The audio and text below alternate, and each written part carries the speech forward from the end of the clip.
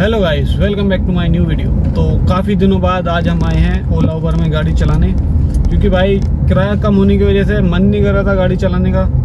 और ऊपर से त्यौहार भी था तो हम चले गए थे भाई अपने गाँव। तो आज आए हैं। आज मैंने 10 बजे के करीब ड्यूटी ऑन कर ली थी, सुबह। और फिर मुझे एक ड्यूटी मिली थी इंटरसिटी राइड मिली थी नोएडा की, उधर से ही। तो वो मैंने करी, उसके बाद मैंने ऊबर ऑन ऑफ़ कर दी थी और फिर मैंने करी ओला ऑन ओला में भाई एक बुकिंग करी मैंने तीन सौ कुछ रुपए की और उसके बाद मैंने ओला ऑफ़ कर दी। फिर मेरी जो है ना ऊबर पे आई थी एक नोटिफिकेशन कि आपकी जो ना प्रीमियर कैटेगरी जो ना, आप एलिजिबल हो प्रीमियर लेने के लिए। क्योंकि मैं ऊबर गो कैटेगरी बंद कर देता था, क्योंकि ऊबर गो में कोई फ़ायदा नहीं है भाई। देखो ऑटो वाला किराया तुम्हें देगा। तो वो कैटेगरी मैं बंद कर देता था। तो उसके बाद कोई राइड ऐसी आती नहीं थी पूरा पूरा दिन खड़े होना पड़ता था। मतलब ऑन रहती थी ड्यूटी ऊबर उसमें ऊबर में, और ड्यूटी नहीं मिलती थी। तो आज नोटिफिकेशन आई थी ऊबर की तरफ़ से कि आप एलिजिबल हो प्रीमियर बुकिंग लेने के लिए। मगर चलो भाई, आप एलिजिबल हो गए हैं। हम तो पहले था मैं मतलब तो मैंने बुकिंग पास ज़्यादा मार दी थी तो उन्होंने बंद कर दी थी मेरी। और बुकिंग नहीं आती थी ऊबर को बंद करने पे ऊबर को की आती थी। ऊबर को आज मैंने बंद करी और उसके बाद भाई राइड स्टार्ट करी अपनी। जो भी बुकिंग आ रही थी ऊबर को में, उसमें ऊबर में। ऊबर गो सिडान की कैटेगरी की बुकिंग आ रही थी और एक आ रही थी तुम्हारी प्रीमियर ये दो बुकिंग दो कैटेगरी की बुकिंग आ रही थी सिर्फ़। ऊबर गो का कोई नामो निशान नहीं था। और ऊबर प्रीमियर और ऊबर गो सिडान का चलाने का एक फ़ायदा है। कि इसमें जो ना आपको फेयर बहुत अच्छा मिलता है। समझ रहे हो नहीं? फेयर में मतलब वो नहीं है कि आठ रुपये सात रुपये मिल रहा है। इसमें दस रुपये का एवरेज कम से कम दस रुपये का एवरेज है। लेकिन आप ये डिटेल देखो पहले। आज मैंने जितने भी बुकिंग करी है ना, सारी डिटेल देख लो। कोई सी बुकिंग ऐसी नहीं है जिसमें दस रुपये ग्यारह रुपये किलोमीटर से कम का एवरेज हो। और इसमें जो ना कैंसिलेशन भी अगर राइड करता है ना मतलब कस्टमर कैंसिल करता है या हम कैंसिल करते हैं टाइम पे रुकने के बाद, पाँच छः मिनट वेट करने के बाद तो ओला देता है बाईस रुपये कैंसिलेशन के। तुम चाहे कितने ही किलोमीटर दूर जाके कस्टमर की लोकेशन पे गई हो, वहाँ जाके कैंसिल करी हो तो बाईस रुपये देता है, वो भी कभी कभी दे देता है। लेकिन इसमें भाई, आज कस्टमर ने कैंसिल करी तो इसमें पचास से ऊपर रुपये इसने दिए बावन रुपये के करीब। कैंसिलेशन कैंसिलेशन की। तो इसका एक ये भी फ़ायदा है कि आप अगर जा रहे हो कस्टमर की लोकेशन पे कस्टमर कैंसिल करता है या तुम कैंसिल करते हो टाइम पूरा होने पे तो इसमें कैंसिलेशन भी पचास रुपये से ऊपर का ही मिलता है प्रीमियर बुकिंग में। और ये फ़ायदा है इसका ओवर गो में, भाई वही मिलता है तुम्हारा बीस बाईस रुपये के करीब ही बीस बाईस भी मिलता दिखे शायद। तो प्रीमियर बुकिंग का ये फ़ायदा हो गया। तो आज मैंने सोच लिया, भाई आज ओला चलानी नहीं। एक बुकिंग करने के बाद फिर मैंने ओला बंद कर दी और ये ऊबर गोई। ऊबर गो कैटेगरी बंद कर दी और फिर चलाई Uber premier Uber go sedan में। और भाई ऐसी ऐसी बुकिंग मिली। मतलब अगर एक दो किलोमीटर की भी राइड है ना, दो किलोमीटर की राइड में भी मुझे, मेरे पास राइड आई थी, मैं था सीपी में। सीपी के गोल चक्कर, बाहर वाले गोल चक्कर पे। वहाँ से राइड आई और उसे छोड़ना था ललित होटल, मुश्किल से डेढ़ किलोमीटर। उसमें दिखा रहा था सौ रुपये सौ रुपये मिलेंगे तुम्हें। तो भाई उठाया कस्टमर को पाँच मिनट के अंदर ड्रॉप कर दिया। तो सौ रुपये मिल गए और यही राइड अगर ऊबर गो में होती तो भाई तुम्हें वही तिरसठ रुपये, बासठ रुपये, बावन रुपये वही दिखाता। और ओला में होती तो वही साठ, सत्तर रुपये दिखाता और कुछ नहीं होता। तो भाई देखो, समाज सेवा बहुत कर ली। कहने का मतलब मेरा यह है कि समाज सेवा बहुत कर ली हम लोगों ने। तो बुकिंग वो उठाओ जिसमें तुम्हारा दो रुपये बच रहे हो। समझ रहे हो? दस रुपये, ग्यारह रुपये का एवरेज कम से कम आ रहा हो। बुकिंग वो उठाओ। और टाइम भी ज़्यादा नहीं लग रहा हो। तो समाज सेवा करने से कोई फ़ायदा नहीं है भाई, देखो। ना कंपनी तुम्हें देने की कुछ, ना कस्टमर कुछ देगा जाने का एक्स्ट्रा। तो पहले देख लग लो क्या कंडीशन है, क्या नहीं। और ये आज एक बुकिंग आई थी मेरे पास। कुछ लोगों की कमेंट भी आ रही थी, मैंने शॉर्ट वीडियो डाली थी इसके ऊपर। कि इसमें टोल जुड़ मतलब टोल मिलता आपको एक्स्ट्रा मिलता। देखो, मेरे पास पहली बार ये राइड आई थी और मैंने पहली बार ही नोटिस करा था चीज़। इसमें दो सौ दिखा रहा है। आप देख सकते हो स्क्रीन में। और दो सौ छियालीस में सेक्टर बत्तीस से जाना था कस्टमर को अजमेरी गेट ठीक है? और इसमें जो ना, मैंने नोट जो करी, दो सौ छियालीस दिखा रहा था उन्नीस पॉइंट कुछ किलोमीटर के। मगर सही है, उन्नीस के, उन्नीस किलोमीटर के, बीस किलोमीटर के दो सौ तो मैं क्लिक ही करने वाला था, मैंने देखा इंक्लूडिस टोल टोल चार्जेस मतलब इसमें टोल चार्जेस जुड़े हुए हैं। अब ये पता नहीं किस टोल की बात कर रहा था भाई। या तो किसी मतलब और भाइयों की कमेंट आई थी कि भाई ये जो ना टोल जो ना उसकी बात कर रहा है, जो अजमेरी गेट रेलवे स्टेशन पे लगता है। वो ऐड है इसमें बस। और जो एमसीडी का टोल है, वो अलग से मिलेगा। तो भाई ये इस चीज़ में पता नहीं कितनी सच्चाई है है नहीं है। तो भाई आपके साथ अगर ऐसा हुआ है तो आप कमेंट में बताना कि क्या सच्चाई है, कितने मिलते इसमें। तो भाई अगर इंक्लूडेड टोल दिखा रहा है कि टोल भी इसमें दो सौ चालीस में इंक्लूड है तो भाई देखो, सौ रुपये का तुम्हारा एमसीडी का लग जाएगा। और तीस रुपये पचास रुपये के करीब वो मिलते हैं, तीस रुपये के करीब। एक सौ तीस रुपये का टोल हो गया और दो सौ छियालीस रुपये दिखा रहा है तो वही मिलते हैं हमें तो भाई एक सौ पंद्रह, बीस रुपये के करीब। उन्नीस, बीस किलोमीटर गाड़ी चलती। तो मैंने बुकिंग इसलिए नहीं ठाई थी कि भाई, अगर मान लो मैंने ठा भी ली, है ना? और जो मैं सोच रहा हूँ कि एमसीडी का टोल भी हमें इसमें ही ऐड हो रहा है, दो में ही इससे एक्स्ट्रा नहीं मिलने का टोल अलग। तो इसमें हमें बचता ही गया और बचने के बाद वहाँ जाकर मैं कंप्लेंट भी डालता तो भाई देखो कोई सुनवाई है नहीं ओला के अंदर तो। ऊबर के अंदर कम से कम ये है कि सुनवाई है। अगर तुम किसी चीज़ की कंप्लेंट करते हो कस्टमर केयर पे या उसके ऐप में जाके कुछ भी करते हो तो भाई उसका रिप्लाई तुम्हें मिलता है। रेस्पॉन्स आता है उधर से कि हाँ भाई ये चीज़ है, अगर तुम्हारी गलती है तो तुम्हारे मतलब कुछ भी चीज़ सही, उसका रिप्लाई वो देते हैं लोग। ये पता क्या करते हैं? ये सीधा कहते हैं, ये चीज़ सही है, जो भी बिल हमने बनाया वो बिल्कुल ठीक है, आप ही गलत हो। समझ रहे हो ना? तो मैंने वो रिक्स में मतलब था ही नहीं भाई, क्या रिक्स लेना खामो खा की? इतने अच्छे पैसे दे भी नहीं रहा। तो वो मैंने पास कर दी और कुछ भाइयों की रील्स पर कुछ कमेंट आई कि भाई ये जो ना, उसकी बात कर रहा है जो रेलवे स्टेशन पर टोल लगता है।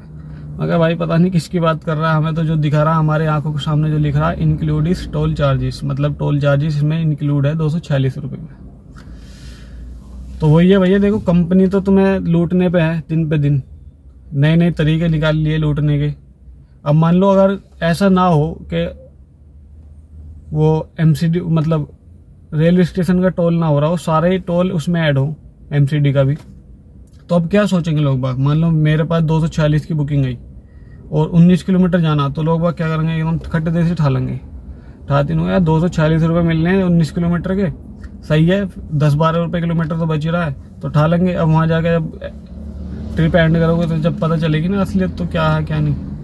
तो ऐसे भी धोखाधड़ी भाई हो सकती है। कंपनी ने नया तरीका निकाल लिया, हो सकता है। ये पूरा कंफर्म नहीं है कि हाँ भाई इसमें कौन कौन से टोल की बात वो कर रहा था। तो वही है भाई देखो, आज हमने काम करा है सत्ताईस सौ कुछ रुपए का ओला में, उसमें सॉरी ऊबर में, और तीन सौ कुछ रुपए करा है ओला में। और हमारी गाड़ी आज चली है लगभग 250 किलोमीटर के करीब। 250 किलोमीटर चली है। देखो, कम कम गाड़ी चली है और तीन हज़ार रुपये का हमने काम भी कर लिया है। अगर यही काम में अगर ओला में करता ना सत्ताईस सौ रुपये का तो कम से कम साढ़े तीन सौ किलोमीटर गाड़ी चलती, जब जाके सत्ताईस सौ रुपये की अर्निंग हमारी बनती। तो वही है भाई, देखो, मैं तो हमारे एक अपॉर्चुनिटी दिया है मतलब ऊबर ने ऊबर प्रीमियर की, और उसमें बुकिंग मिल भी रही है मुझे। पहले नहीं मिल रही थी। पहले ऊबर को बंद करके रखता था मैं, मिलती नहीं थी पूरा पूरा दिन हो जाता था।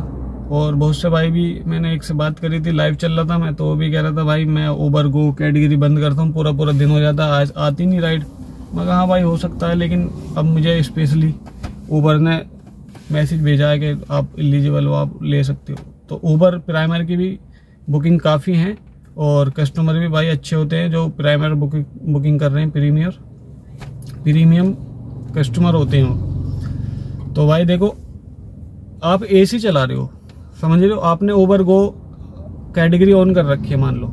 और ऑन कर रखी है, आपके पास बुकिंग आई उबर गो में। सौ रुपए की, सत्तर रुपए की, अस्सी रुपए की, जो भी आई। आठ रुपए, नौ रुपए पर किलोमीटर के हिसाब से।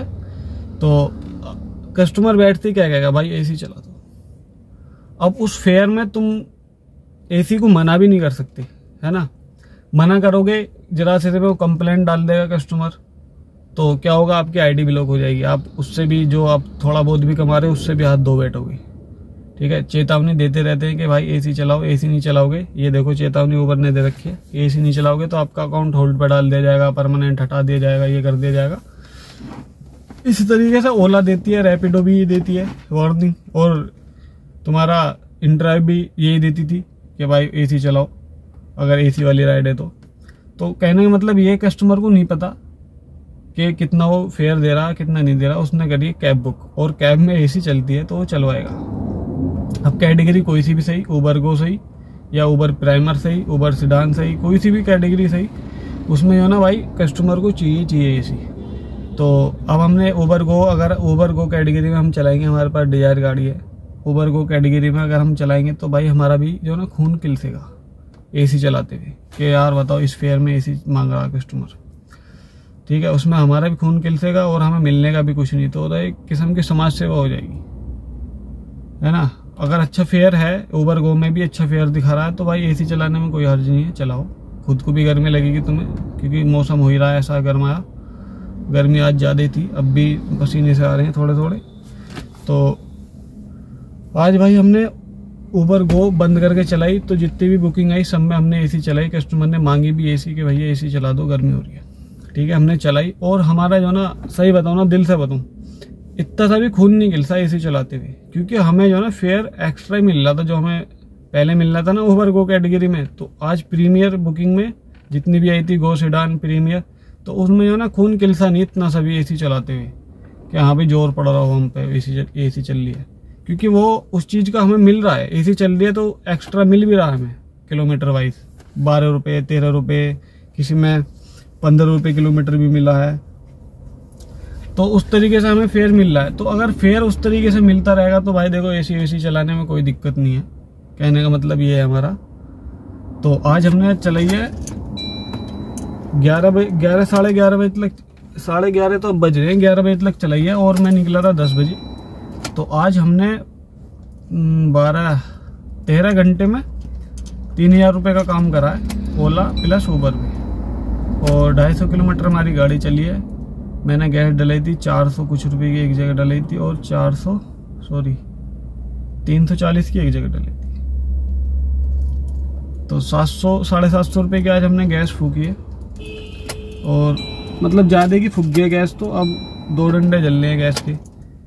तो इसमें जो ना लगभग हमारी आठ सौ, साढ़े आठ सौ रुपये की गैस फूक गई है, क्योंकि एसी पे जो ना गैस ज़्यादा खाती है गाड़ी। बेशक कम किलोमीटर चली हो, लेकिन खाती ज़्यादा है। तो आज हमारी लगभग आठ सौ, साढ़े आठ सौ रुपये की गैस फूकी है।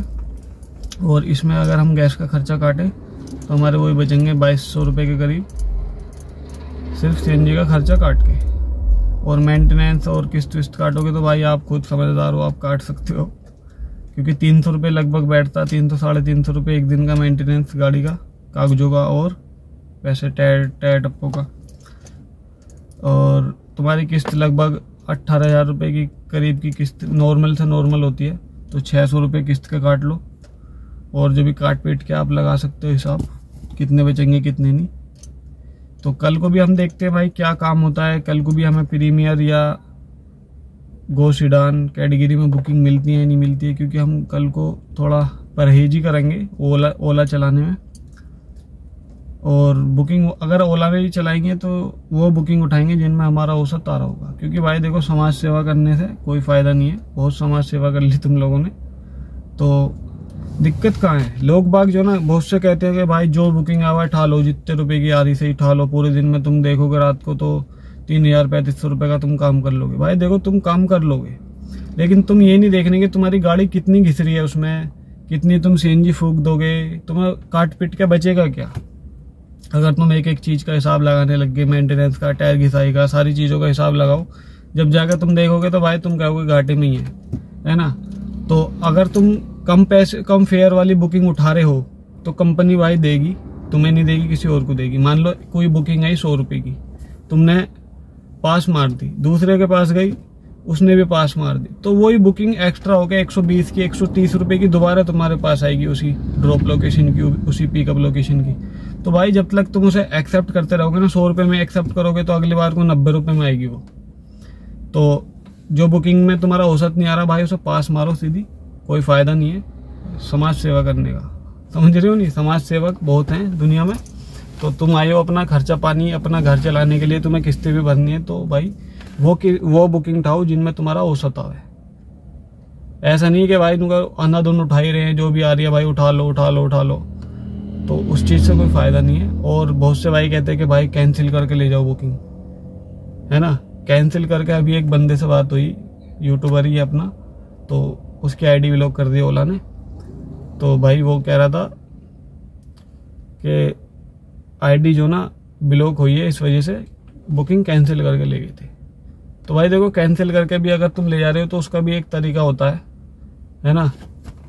वो तरीका मैं किस दिन किसी दिन बताऊँगा आपको कि किस तरीके से आप आईडी ब्लॉक होने से बचा सकते हो कैंसिल करने पे भी बुकिंग को।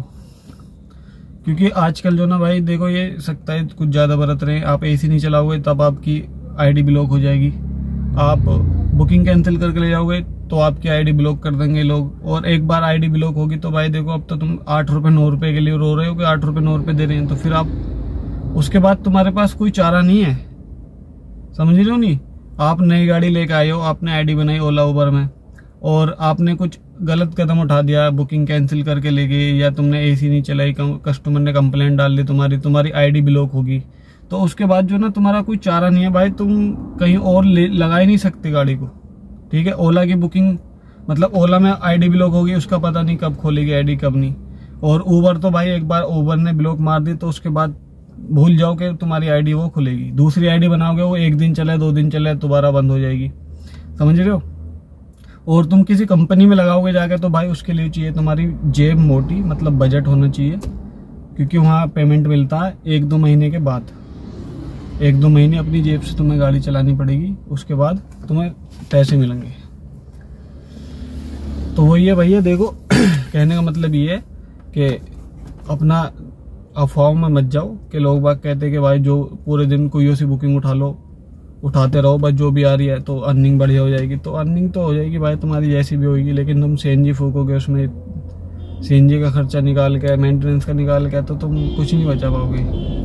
तो वो बुकिंग उठाओ जिसमें तुम्हारा कम से कम कम से कम तो दस रुपये का वो आना चाहिए एवरेज तो मिलते हैं भाई अगली वीडियो में, बताते हैं आपको क्या अर्निंग होती है, क्या नहीं होती। क्योंकि आज तो भाई देखो, शुक्र है मालिक का, जो इतनी अर्निंग होगी, ठीक है? और भाइयों की तो हो भी नहीं हो मतलब इतनी हो भी नहीं पाई होगी, और बहुत की इससे ज़्यादा भी होगी होगी। तो कल देखते हैं भाई, देखो कल क्या होता है, कल कितने रुपए की अर्निंग हो पाती है, क्योंकि अब तो बारह बजने वाले हैं, और फिर खा पी के अपना सोते हैं। और कल देखते कल का क्या होता है, कल कितने रुपए की अर्निंग होती है, उसका भी अपडेट हम आपको कल देते हैं। तो कैसे लगी आपको ये वीडियो? कमेंट बॉक्स में ज़रूर बताएँ। वीडियो को लाइक और चैनल को सब्सक्राइब करना ना भूलें। मिलते हैं अगली नई वीडियो में। तब तक के लिए बाय बाय